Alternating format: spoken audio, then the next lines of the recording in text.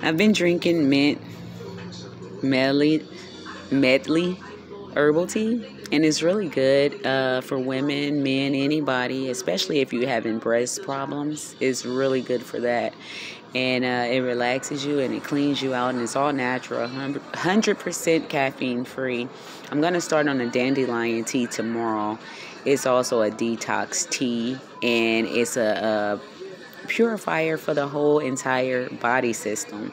So I suggest we all take it. It's all natural and it's very healthy for you. Uh, been into my teas for a while now, trying to uh, replace coffee, but I still drink it from time to time. But I've slowed down a lot from where I was, and I've been replacing my sodas with uh, alkaline water. Yes, for that pH balance, we need it. We need that balance. Yes, sir. That's what it's all about. And um,